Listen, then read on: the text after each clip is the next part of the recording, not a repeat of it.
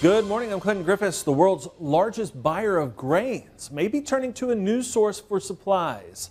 The official state news agency for China saying the country purchased its first cargo of corn from South Africa. Why should producers here care?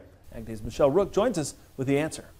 Clinton, this is an ongoing theme with China where they've made their strategic decision to try to source ag goods from just about every other country on the globe except for the United States. It's part of the ongoing trade tensions between the two countries, but it's not good news for U.S. ag exports. State owned grain trader COFCO bought the 2.1 million bushel shipment of South African corn, which will be sold to domestic feed makers. Plus, between March 25th and April 14th, more than 4.3 million bushels of corn left South African ports destined for China. China and South Africa has been doing some major logistic projects together.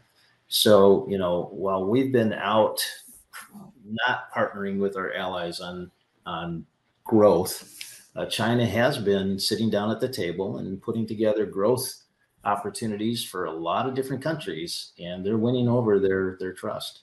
Biedermann says China has also made major investments in South American infrastructure. They struck more than 20 trade deals with Brazil and are currently buying their record soybean crop and for the first time ever their record corn crop. But it doesn't stop there aside from the mass increase in not just South American production, but their logistics in order to ship it out, is the relationship that they have with China and other allies that we used to have strong relationships with.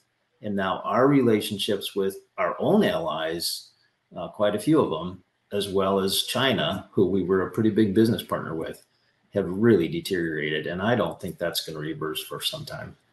Case in point is U.S. export sales of corn fell to their lowest weekly total on record last week as overseas buyers, including China, canceled purchases made earlier in the year. Total commitments are down 35% for corn exports versus last year. As we previously reported, USDA is forecasting Brazil will overtake the United States as the top global supplier of corn this year, something that Chinese corn purchasers have already made the switch to.